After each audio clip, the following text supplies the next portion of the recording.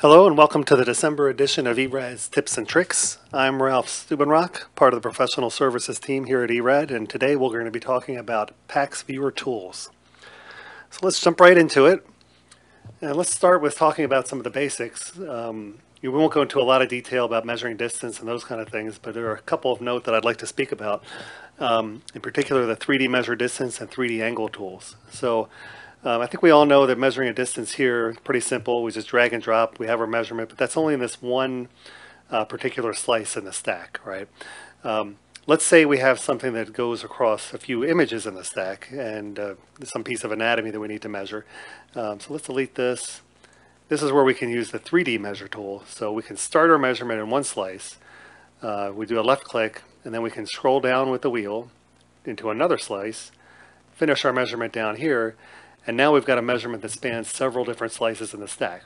You'll notice the blue color here in this line tells you that part of the measurement is in this slice. If I slide back up, we'll see the blue's moved over here. Now this part of the measurement's in this slice. The red is in another part of the slice. Also, if we look over here in the coronal view, we'll see uh, the measurements visible there as well. Um, you can see where that measurement takes place or where that is in the actual coronal as well by the colors. It's also in the sagittal. If we go over here to the sagittal view, we can see that as well. And the nice part about this is we can manipulate that measurement in all planes, right? So now I can measure, it, move that, and whatever piece of anatomy, you know, is in some strange ortho orthogonal position where we want to get that right measurement, uh, we can do that all with a 3D measurement tool. So let's delete this. And now let's talk about the uh, 3D angle tool. Um, so if we move on to a regular measure angle tool, again, this is the same, uh, this can only be done in one plane or one slice, right? Um, if I wanted to do an angle that's uh, for some anatomy, so like perhaps somebody that's very kyphotic, this isn't a good example, um, like a kyphotic thoracic spine, uh, where one measurement was up top. Let's go ahead and put the three uh, the 3D on. Um, we'll do the first line, and then again, same principle as the 3D measurement. We can scroll through the stack and pick another slice to complete our measurement, and then it gives us our value here. Then we'll see that in all the, the entire stack, basically. And that's the function of the 3D angle tool. Since we have a lumbar spine open here, we'll just also talk quickly about the spine labeling. So we'll switch to the spine labeling tool. And what we'll find is um, when we start to click, since this is a lumbar spine, the system recognizes that and starts at L5 and counts up through the vertebra. Um, now, if this was a cervical spine, it would have started at C2 and counted down, and a thoracic spine at T1 and counted down. And again, that's all based on the study description. Um, so obviously, if the description doesn't match something in our dictionary that's already built in, it may just start at the default, which would be C2 for anything that it doesn't recognize and then count down.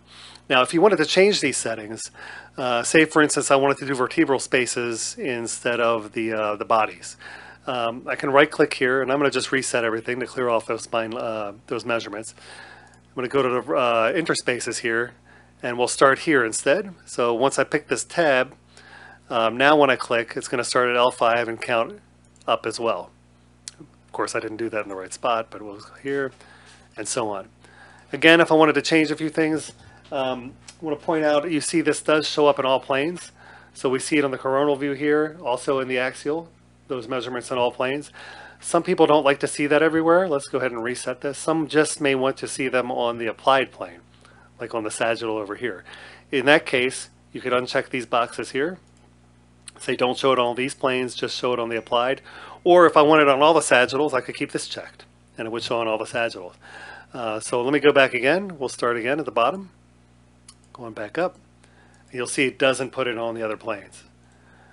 Um, all these settings here, um, those settings are also found on tools and options at the top. If you want to go into your spine, uh, the spine settings in there and your tools and options, you can change that permanently. The things I did here were just for this session. So once I um, open up another study, I'd revert back to the original settings with all these checked um, and so on.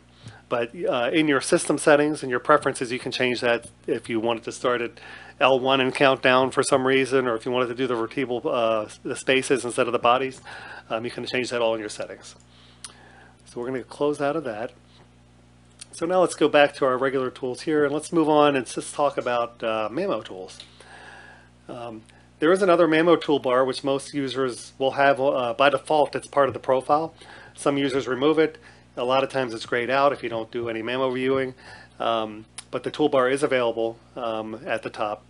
Uh, this patient has some CAD from a company called DeepHealth. Um, uh, the CAD provider is listed here in this dropdown. It is possible for some people use uh, multiple CADs on the same study. So in the event that they did, uh, each CAD object that was on here would be listed and the, the, the, CAD vendor would be listed here and you could choose which one you wanted to pick. Uh, this one just has the one from DeepHealth. Um, if I wanted to toggle the CAD on and off, uh, we've got a show CAD button right here that toggles it on and off. And you could, of course, create a keyboard shortcut for that as well if you'd like. I have one. I programmed the letter C to do that. Um, and I'll show you how to do keyboard shortcuts in a bit. We'll talk about that briefly as well. Uh, this next button here is to move through the different types of CAD. So if there was another CAD provider like R2 or uh, CureMetrix or another vendor like that that, that had processed as well, and this was in PACS, um, you would click this button to toggle to that next CAD uh, on the list.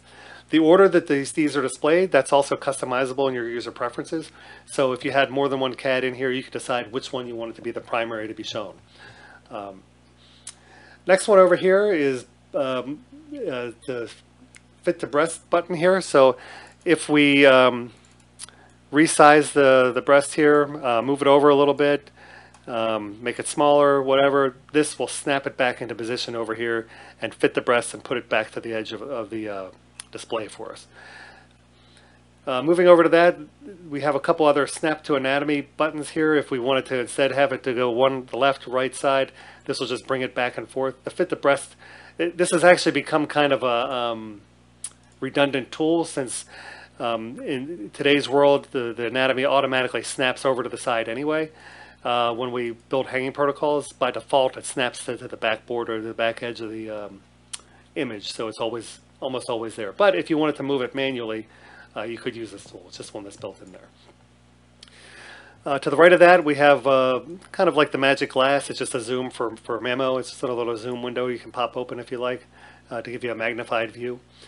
And then next to it here, we have the invert breast image. And I want to talk about the difference between this and the regular invert grayscale button over here. So the invert grayscale, which some people may be used to inverts the entire image, including the background here, which is white. So this can be kind of obnoxious for a, a breast imager to view with this white background here. It kind of hurts the eyes a little bit, right? Um, so what we've done is added an invert breast, which just inverts the breast tissue. Um, so that's a nice feature there for uh, anybody who wants to do an inverted view of the breast. One more here is a skin line detection. So this shows the skin line of the breast tissue here. Um, this is this piece is actually used to um, um, for that fit to breast to be able to invert the breast image only. The skin line detection kind of determines where the breast tissue is in this frame. Right. Some people like to see that from time to time too, so that's why we have that button there as well. Another set of tools some users like are the Cine tools. We can find them up here in the tools menu along with all the others. Um, if we click the Cine tools, uh, we can click the play button here we'll start scrolling through the stack. Now that's not very convenient to have to go up here and do this every time. So this is a toolbar I haven't added anywhere and I'm kind of running out of space up here. But I would like to show you, I'm going to go ahead and stop this, but I would like to show you how to add a tool toolbar set uh, to your toolbar or somewhere so you have uh, better use of it than going up to a menu and having to pick it each time. So let's go to Tools, Customize, and from here since I have so many things up at toolbar top and I've kind of filled it up a lot, I'm going to go to toolbar bottom um, and I'm going to add a tool, uh, the Cine tools down here. Okay, so what I'm going to do is highlight Cine tools from the groups in the center. Okay, shows you all the tools that are available there in the as part of that group. Um, if I wanted to add some other tool set or some other tool um, to this, all the commands and tools in the system are listed over here. It's a very extensive list, um, but you can, you know, start typing in here and it'll give you all the tools that you have a choice of, right? Um, so I'm going to leave this alone. I've got everything I need here. So I'm going to just go ahead and move this entire tool set over here to the toolbar bottom. I'm just going to move it over. You can see it's added here. I'm going to click OK. You see now I have that down here at the bottom. Okay.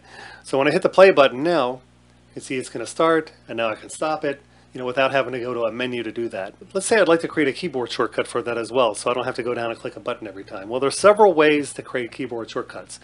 I'm going to start with the harder way, uh, which is creating a macro manually. So I'm going to go to macro, record macro, press the play button, because that's the function I want to do. I'm going to go back up here, click record macro again. Now it's going to prompt me to give it a name. We'll give it a label here. Cine. Then we're going to assign a shortcut key, keyboard shortcut, right? In this case, I'm going to just pick um, letter F. All right, so we'll say OK.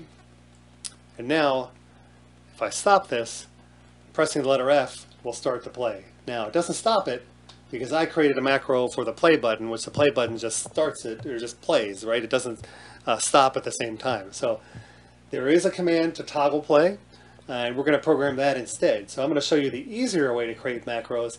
Really, the recording of a macro, you only want to do if you need to do some combination of tools that you want to record, or, or create a shortcut that does multiple things at one time, or something that's not already an assigned tool. Um, so we're going to go back down here again to macro and shortcuts this time, which is going to open up our shortcuts menu. And we're going to go down here to main frames. This is where all your main keyboard shortcuts are when you're working within the image frames. Okay, So I created a tool and I called it Play Cine right here, and I assigned it to keyboard shortcut F. Right. If I wanted to change this to a different keyboard shortcut, I could. You know, I say change keyboard, and then I could just pick another letter. But I don't want to change it. Uh, what I'm really going to do is just remove it because I'm going to assign a new shortcut for toggle play or toggle cine, right? So if I, if I type in cine again, um, we'll see here I have a choice for toggle play, right? So I'm going to pick this, I'm going to highlight it, click the arrow here, which is going to move it over to my shortcuts list in the mainframe section. Then it's going to ask me for a key combination, and last time I used F, and I'm going to go ahead and use F again. It's added that, toggle play, so I'm going to say OK. And now when I click the letter F, or press the letter F, one press turns it on and one press turns it off. So now it is actually the toggle because that's the keyboard shortcut that I programmed. Um, now down here you will notice in the Cine tools, um, the speed is set to um, 5 frames a second. That's the default is 15, but I went into my settings and changed that. So there is a setting that you can change in your uh, in your preferences uh, to change the Cine speed. Actually, let me show you that real quick. We'll go to Tools, Options, and in the Tools and Options here, you can just do a search for the tool you're looking for. So I'm going to just type in Cine so I don't have to try to figure out where it is. Um, and when I go down here, you see the Cine speed. If I reset this button here, that's resetting to the system setting. It's hard to see, but in there it says 15. That's 15 frames per second. Um, if I take this off, I can then adjust it to whatever I like to have my default be. And I had five before, I'll just leave it something like that. So now when I play the Cine in the future, or when I open a new study in the future, that Cine will start at, um, you know, that five frames or four point whatever it was that I ended up setting in there. Um, it'll remember it for the next time you log in.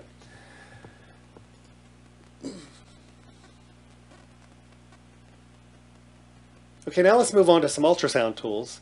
Um, so we'll move up, we'll open up an ultrasound study here. We'll find this study, um, they've done some measurements. We see here they've got a couple measurements uh, for the gestational age. They've done the femur length here. Um, we have a bunch of uh, tools up here as well. Femur length is one of them as well, so I can click this tool, femur length. Um, if they didn't do the measurement for some reason or was missing and I needed to do the measurement here in PACS, I could then do that as well. I'll just drag that over and I've got something close. I didn't really measure exactly like they did, but you can see I've got the fetal age here. Um, if we scroll through, we'll probably see they have some additional measurements. Um, here's one earlier where I did as well. I did the um, um abdominal circumference. Um, so I did that for this one. And we can see that kind of matches pretty close as well. So we have a bunch of different tools up here, um, you know, for fetal age that can be used as well. For whatever reason, they weren't done in the original uh, acquisition. Okay, let's move on and talk about a few other tools. I'm going to pick this CT here to start out with. Um, one thing we didn't talk about before was a tool called the Magic X. Um, so we click this. It's essentially a triangulation button. So if I were to click anywhere on this anatomy here in this axial view, you'll see in my coronal view, and the same would hold true for sagittals.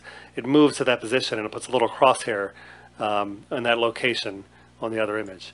Um, so if I, same holds true if I go over here, try to follow the vessel down here like this, I can follow it right there on the, um, in the axial view as well if I want to follow it through. Uh, that's the Magic X. And we'll notice over here, I put this in a lung window, and this was actually just a soft tissue series. Uh, had, it wasn't done on a lung algorithm, um, but at the same time, it's um, it's a little hazy, and I want to maybe I want to sharpen that up and make it look like it has more of a lung algorithm. We do have some enhancement tools up here. I'm going to click the button right here and pick sharpness, and I'm just going to pick small. For CT, you don't need to make it very sharp. Uh, we'll just pick the small sharpness value, and we can see it gives a good edge enhancement here. Um, to allow you to look at what looks like a little bit more of a bony looking lung window in this case. Um, so that's the enhancement tool. And we're going to look at one more tool, one more set of tools here on a plain film. If we go up to the tools menu, and this button isn't anywhere out here by default, uh, it's not used very often, but you could certainly program the, uh, the system to have it as a shortcut on your right click menu or at the top if you like. If I go down to cursors here, we have one here called ROI with window level. Um, it's not used that often, but what this allows you to do is draw a box around the area and let it calculate a window based on that area, right? So if I draw a box right here, it's going to zone in on the lung here, and it's going to allow me to um, do that measurement right there on that space. And then go down here on the spine. You can see now it does a window level more geared towards the spine uh, instead. So it's just a quick way to get a window level um, uh, of that space without using the right click and you know to manually do it throughout the um, through the image. And this will work on any different type of uh, images as well. So if I wanted to go back to the CT, I could do it here as well. Um, draw the same box over here to look at soft tissue a little bit more, lung a little bit better, bone. You know, so it'll it'll whatever area you're looking at or whatever you draw a box around, that's what it calculates the window level for you. One last setting I'd like to show you before we go. If we go to Tools, and toolbars lock right here, if we uncheck that box, that allows us to resize some of these toolbars and maybe make some extra space if we need it. Say for instance, I don't use some of these tools here at the end of this toolbar, but I still occasionally use them. I could slide this over and they'll still be here in the menu below to pick. It just gives me some more real estate up here at the top. I can take a couple of these down like this. Say I don't use those so often, maybe I don't use the rotate, you know, things like that. Um, and now I've cleaned up my space a little bit, then I can go back here and lock the toolbars into place again so I don't accidentally move them. But I still have access to all those via the drop down to the right. Okay, that's all I wanted to show you with the tools today. Um, thank you all for joining and we look forward to seeing you again for our sessions next year.